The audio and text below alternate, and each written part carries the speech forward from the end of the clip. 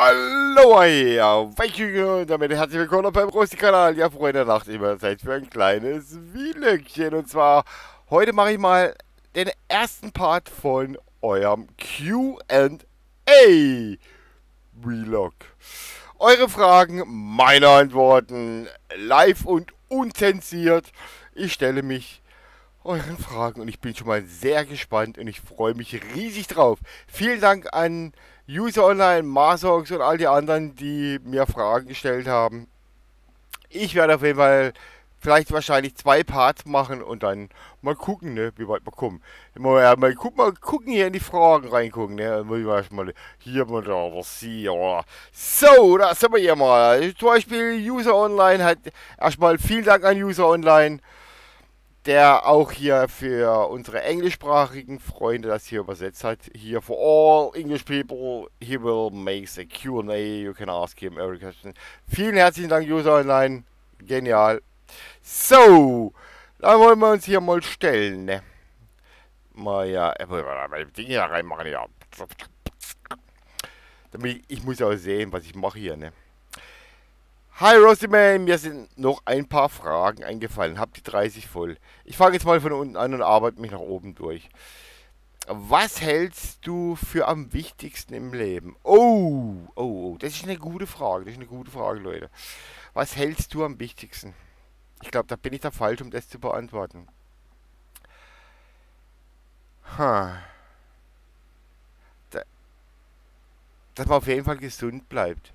Gesundheit das ist wichtig im Leben. Wenn man nicht gesund ist, bringt einem alles andere auch nichts. Wisst ihr? Hast du viel Geld, bist todkrank, bringt das nichts. Also das Wichtigste im Leben ist immer gesund zu bleiben. Auf seine Gesundheit zu achten. Nicht so wie ich in jungen Jahren seinen Körper so schinden, dass er im mittleren Alter schon im Arsch ist. Ne? Aber das halte ich für am wichtigsten. Und immer die richtigen Entscheidungen zu treffen, was meistens nie einfach ist. Wie warst du in der Schule? Oh, oh je, je, je. ich war in der Schule. Jeder sagt, ich bin, ich, ich, es ist nicht überheblich klingen oder sonst was. Jeder sagt zu mir, ich bin ein Genie. Ich sage dann immer, nein, bin ich nicht. Nur ich bin rotzefaul. Das gebe ich offen und ehrlich zu. Ich habe nie gelernt. Ich hatte nie mehr was aufgeschrieben. Ich habe auf keine Arbeit gelernt und ich bin trotzdem, habe jeden Abschluss geschafft. Aber ich wollte nie lernen, ich wollte einfach nur Schule rumbringen, arbeiten, Geld verdienen. Fertig. Mehr wollte ich nicht. Ich wollte nichts Besonderes werden. Hätte ich mal gelernt und wäre auf ein Gymnasium oder so gegangen, wahrscheinlich wäre ich dann was anderes geworden. Ich weiß es nicht, wie ein Rentner. Ich habe wirklich auf keine Arbeit gelernt, aber ich habe alles bestanden. Wie kamst du zu YouTube? Ganz einfach, da ich ein rustiger Rentner bin, nur daheim rumliege, habe ich mir gedacht, ich springe auch mal auf den Zug auf. Lief ja auch ganz gut, bis YouTube dann umgestellt hat. Man braucht, um ein bisschen Geld zu verdienen, 10.000 Abonnenten oder so und so viel und so viele Views. Ne, 1000 Abonnenten und so und so viele Views, damit man seine Videos monetisieren kann. Und dann war ja für mich das Thema gegessen, weil ich habe das nicht. Ich habe gedacht, ich kann mir vielleicht ein paar Groschen dazu verdienen, weil von Rente allein ist schwierig zu überleben. Vor allem, wenn man nur 25 Jahre gearbeitet hat, wie ich. Aber naja, das hat sich. Aber so bin ich zu YouTube gekommen. Ich wollte halt auch mal was machen. Ich bin ja jemand, der eigentlich alles ausprobiert im Leben. Oder alles ausprobiert hat. Es gibt nichts, was ich nicht machen würde. Jo, so bin ich zu YouTube gekommen. Hab halt nur einen Laptop, einen alten. Dann noch eine Frage vom User Online. Was ist dein Lieblingslied? Oh, oh. Lieblingslied schwierig. Es gibt viele Lieder, die ich mag. Ein Lied für, für mich muss sein, es muss mich ansprechen, es muss mich berühren, es muss mich hin und weg reißen. Es ist jetzt nicht auf eine bestimmte Musikrichtung bezogen, sondern es muss mich es muss bei mir, wow, es muss mich uh, in die Band ziehen. Wow. Wisst ihr, was ich meine? Es gibt so vieles. Ich höre zum Beispiel von der krassesten Äh, Industrial Music bis zu klassischer Musik. Zum Beispiel von Schubert zu der Toten das Mädchen. Wow. Haut mich immer wieder von den Socken. Mussorgsky zum Beispiel. Aber genauso Krach. Absolute Musik, wo keiner mag. Punk, Rock, Heavy, Trash. Es gibt nichts, was ich nicht höre. Aber es muss mich auf jeden Fall berühren. Es muss mich, muss ich sagen, wow, wow, geil sieht. Wisst ihr, was ich meine? So, ich hoffe doch. Aber meine absolute Lieblingsband ist auf jeden Fall Portishead. Weil die Bass Gibbons, die, die, der ihre Stimme, die, die flasht einen weg. Um, na, es, ist eine Erinnerung an meine jüngeren Jahre, wo wir viel Blödsinn gemacht haben und ein Portishead, das kam so fett, Leute. Wer es nicht kennt, Portishead, wie man spricht. Portis und Head.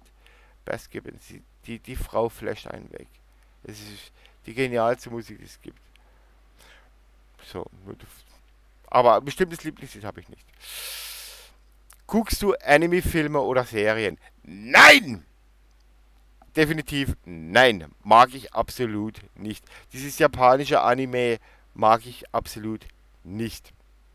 No, no, no, no, no. Hast du ein Hobby neben YouTube? Ja. Essen und Fernsehen schauen. Das ist mein Hobby. Essen. Das mache ich am liebsten. Das ist meine Passion, meine Obsession. Und Fernsehen schauen. Das ohne Fernsehen und Essen geht absolut nicht. Sonst habe ich keinerlei Hobbys. Nein, bin viel zu faul dafür. Ich, ich war früher, ich habe früher Sport gemacht und so.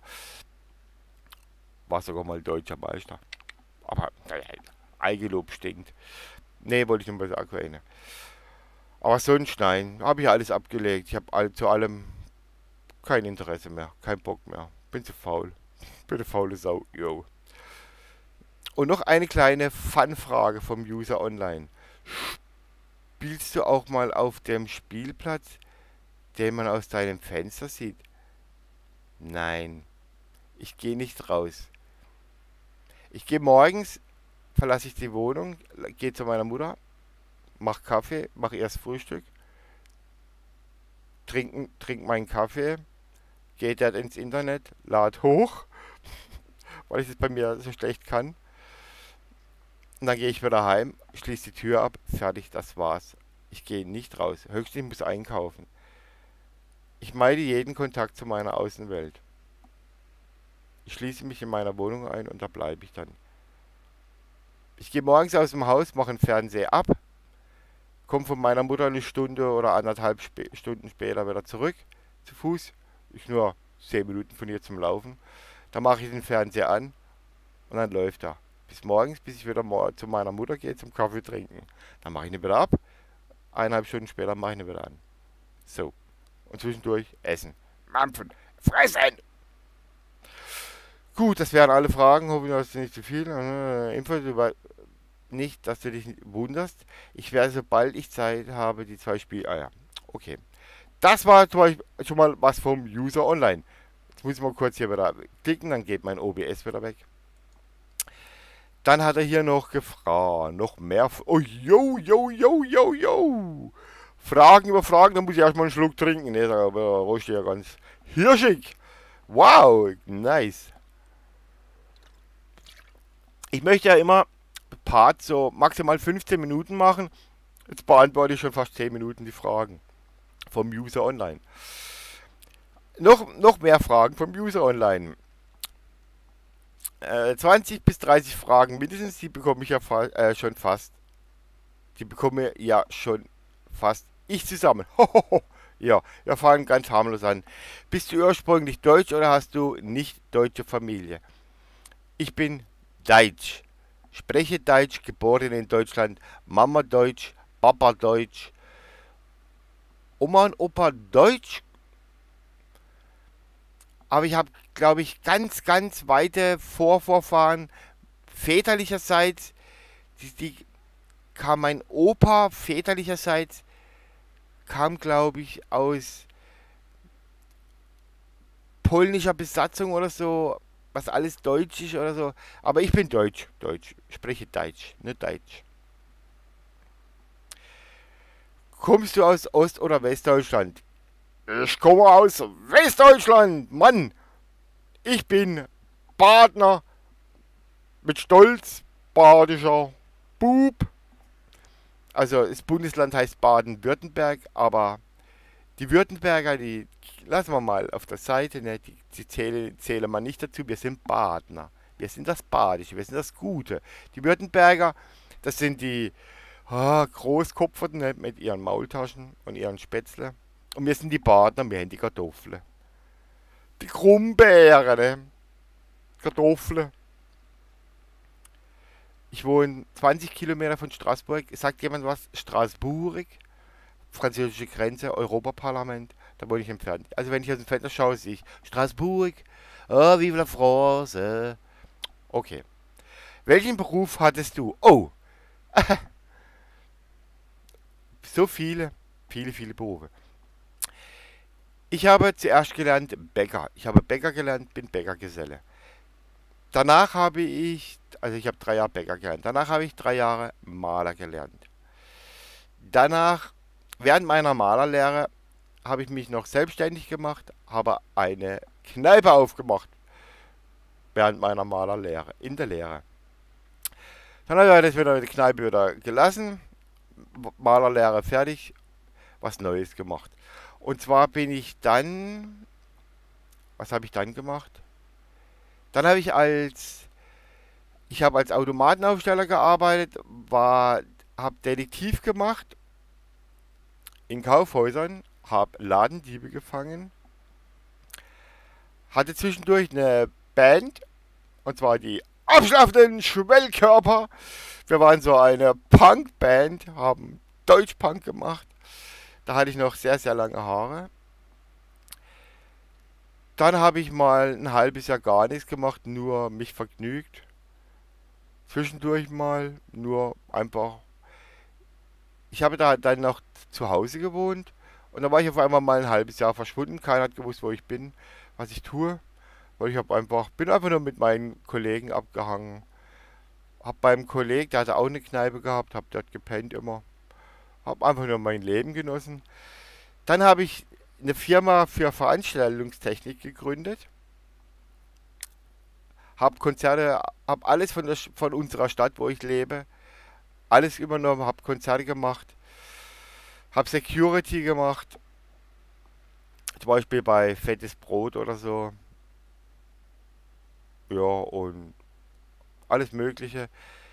Dann habe ich, was habe ich noch alles gemacht? Oh je, ich, ich vergiss mit Sicherheit die Hälfte. So viel habe ich gemacht in meinem Leben. Dann habe ich als, als, also als letztes habe ich im, äh, in einer Eisengießerei gearbeitet. Da habe ich mal locht, mal locht, mal locht, sechs Tage die Woche. 14, 15, 16 Stunden am Tag. Bis mein Körper gesagt hat, so, jetzt Ende Gelände. Das war das Letzte. Was habe ich noch alles gemacht? Es war noch so viel mehr, aber ich, ich kann mich an... Mein Hirn arbeitet ein bisschen gut. Auf jeden Fall habe ich viel gemacht. Jo, das war mal das. Warst du mal in der Armee? Wenn ja, was, äh, wenn ja, was hast du gemacht? Ich habe ungelogen nach meiner Bäckerlehre meine Einberufung bekommen zur Musterung. Ne, ich habe, ja, ich bin gemustert worden, habe meine Einberufung, Einberufung bekommen und ich wollte absolut nicht zur Bundeswehr, weil ich wollte ja Geld verdienen. Was will ich bei dem und verdiene wieder kein Geld? Machst du drei Jahre Lehrer, freust dich Geld zu verdienen, dann musst du zum Bund, verdienst später nichts. Habe ich mir gedacht, jo, da gehst du mal hin und sagst, ich bin untauglich. Ich bin ein Krüppel. Dann haben sie mich nachgemustert, gemustert, dann habe ich ein Schreiben bekommen, ich bin untauglich, ich bin ein Krüppel weil meine Wirbelsäule ist am Arsch. Da musste ich nicht zum Bund.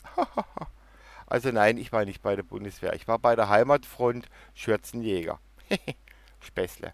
Nein, ich war nicht bei der Bundeswehr. Ich bin untauglich, ich bin Krüppel. Geistig, seelisch, körperlich. Äh, welche Länder hast du schon besucht? ich war, da war ich noch keine 10, ich war 7, 8 oder so, hatte ich war ich im Fußballverein, habe in der E-Jugend gespielt und da hatten wir mal ein Turnier in Frankreich. Das ist das einzige Land, das ich je besucht habe.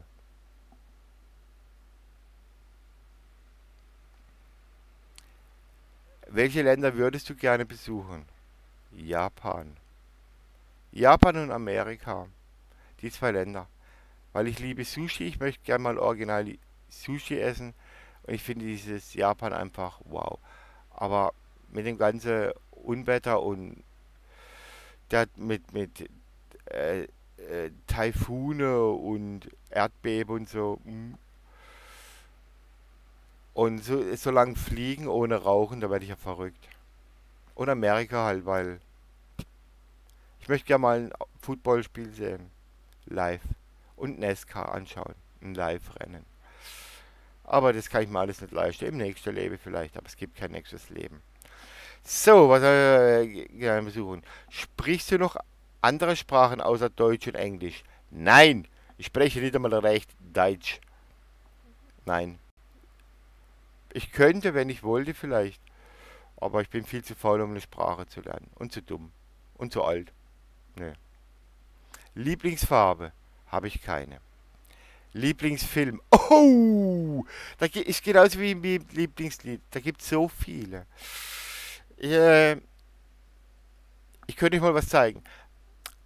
Also einer meiner Lieblingsfilme ist zum Beispiel dieser hier. Seht ihr? Adam Chaplin. Ich liebe ja alles, was krass ist. Krasse Horror. Ich bin Horrorfanatiker. Horror, Splatter, Zombie, Slasher, Gemetzel, Blut und halt auch Horrorkomödien und anspruchsvolle Filme. Wo man so richtig, was andere für doof empfinden, finde ich genial. Zum Beispiel, also Adam Champlin, Champlin zum Beispiel. Oder, ihr seht es vielleicht nicht, es, es, es leuchtet.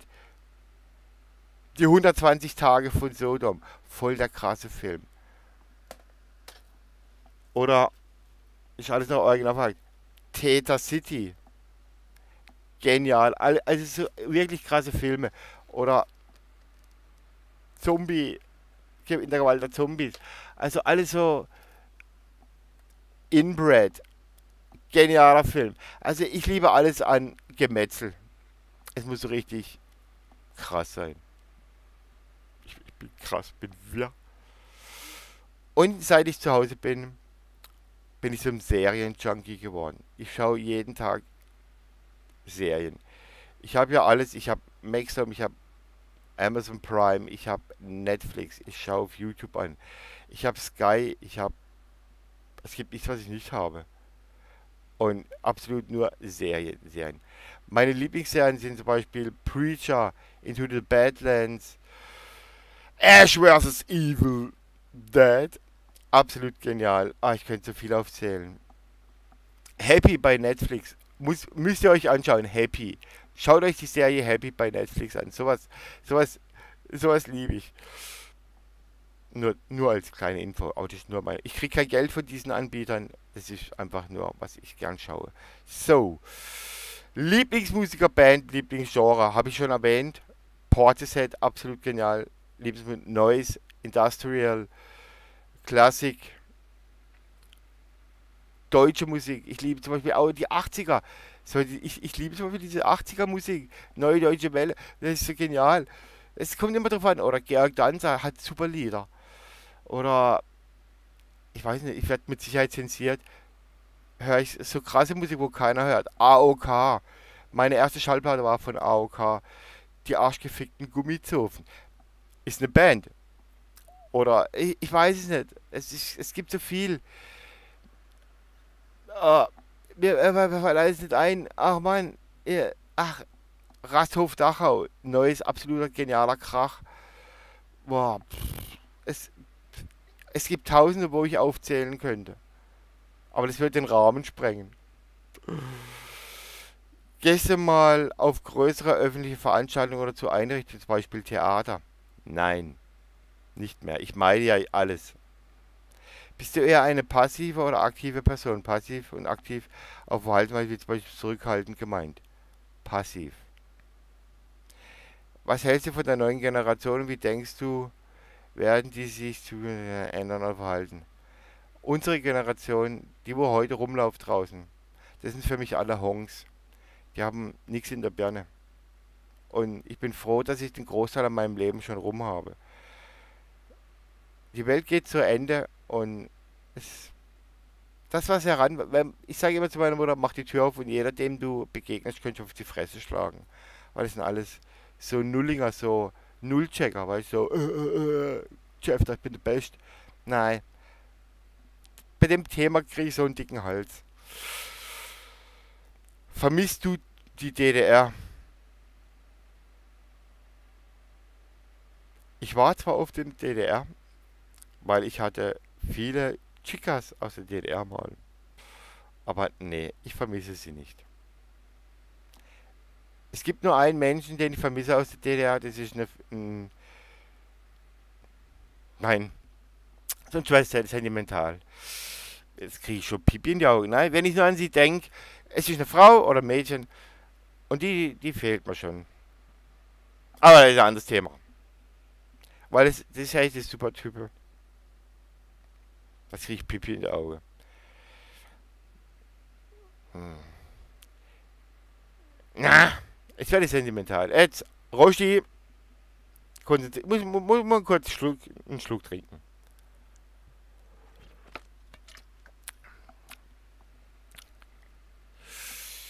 Jo. Wie stehst du zu dem Thema Human Enchantment? Herr User Online, du weißt doch, dass ich Englisch nicht kann. Human heißt menschlich. Enchantment kann ich leider nicht beantworten. Wünsche dir eher Argumentierung technische Glieder und Organe oder Androiden? Wenn ich ehrlich bin, Nichts von beidem. Ich brauch's nicht. Will ich mir auch gar nicht machen, weil ich gehe nicht zum Arzt. Ich sag, wenn ich verletzt bin oder so, mir einen Finger schneide oder sonst was oder krank bin, ich werde eigentlich nie krank. Ich, ich, ich, ich lüge euch nicht ein, ich war schon die letzten 20 Jahre nicht mehr krank. Keine Grippe oder sonst was. Weiß auch nicht warum.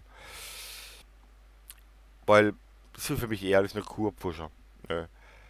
Entweder das heilt oder es heilt nicht. Es geht oder es geht nicht. Wird besser oder wird, wird nicht besser. Pech gehabt. Kurz husten.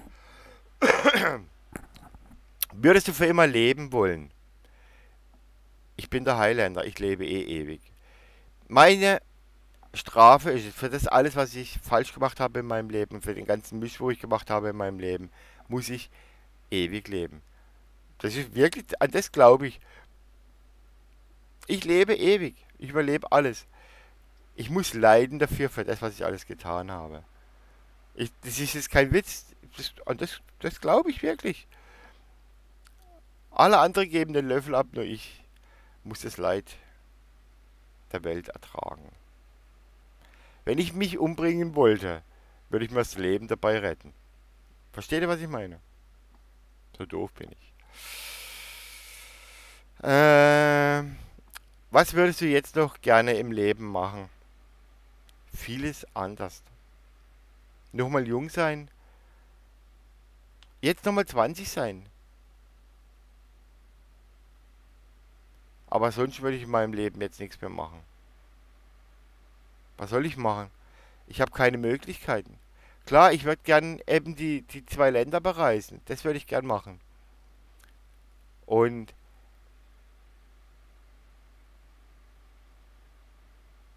vielleicht, ich weiß nicht, einfach alles besser machen, aber da fehlen mir halt die Mittel nicht dazu. Es gibt so vieles, was ich gern machen würde. Einfach unbesorgt leben, das Leben genießen, aber das kann ich dann halt nicht.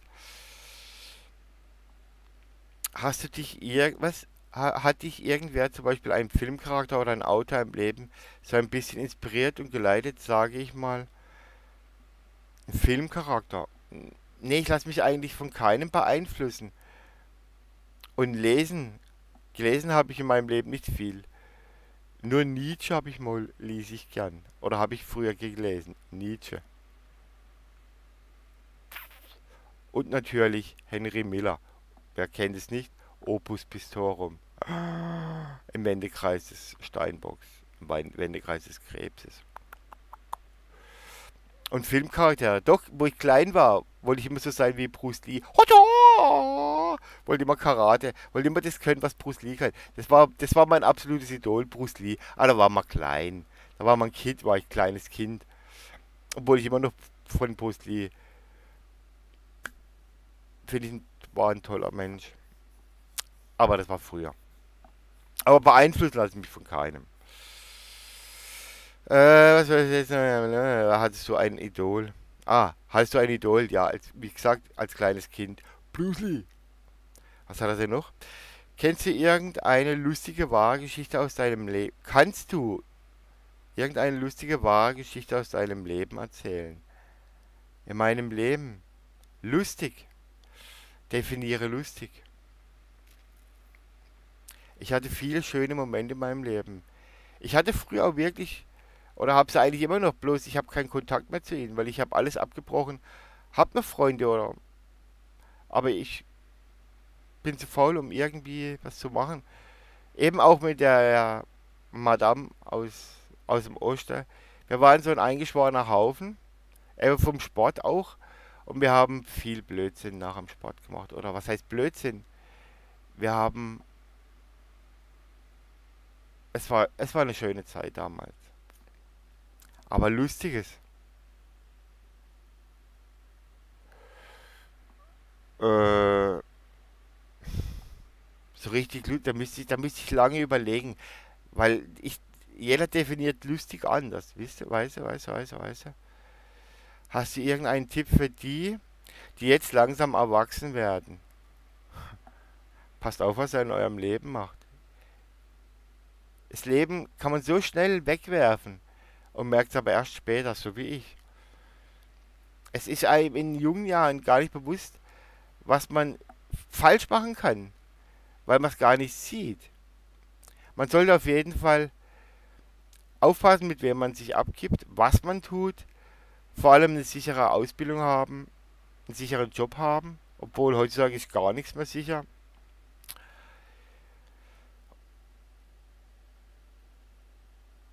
Obwohl das nicht mein Spruch ist. Ich hab, war immer der Meinung, genieß dein Leben und scheiß was drauf, was später ist. Ich genieße jetzt mein Leben, das Hier und Heute. Und das ist es mir geworden. Ich möchte nichts missen, was ich früher gemacht habe. Nur, habe ich jetzt halt jetzt nicht mehr so viele Möglichkeiten.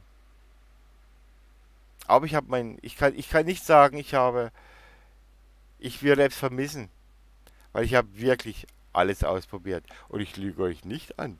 Ich habe alles gemacht, egal was. Nur so viel zu dem Thema, ne? Aber da möchte ich jetzt nicht weiter drauf eingehen. Es fragt ja keiner. Spezifisch danach. Auf jeden Fall immer schauen, erst, erst denken, dann handeln. Das würde ich den Leuten empfehlen. Und mal an später denken.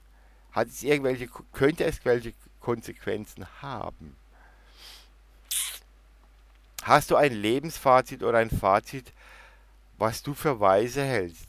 Das Zitat kannst du auch aus deinen Erlebnissen ziehen.